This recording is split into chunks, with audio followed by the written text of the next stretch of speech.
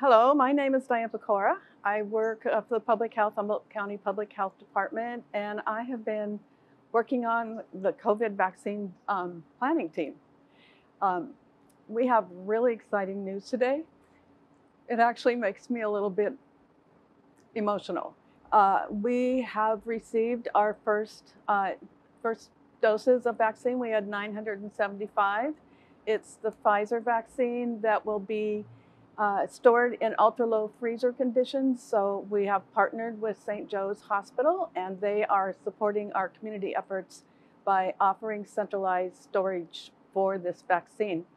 We have been working closely with our local providers and we'll be uh, starting to distribute and, and actually put shots in arms beginning uh, hopefully by the end of this week and into next. Um, we will be receiving, we are also um, supporting uh, Del Norte County by um, offering them some storage space in the freezer. In the meantime, we are, the vaccine will roll out in three different phases and we will be working with phase one.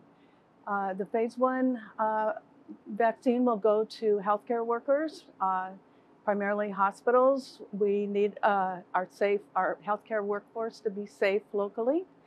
Um, and then it'll move into as vaccine supplies into the larger populations. Um, we expect to be uh, getting increased supply of vaccine over the next few months, but certainly in the beginning it will remain limited. In the meantime, please remember, vaccines do not um, work immediately. They take time. So continue your safety precautions. Be safe. Wear your masks. Distance your space and hand wash. So stay tuned. I'm Dian Pecora, Humboldt County Public Health. Thank you.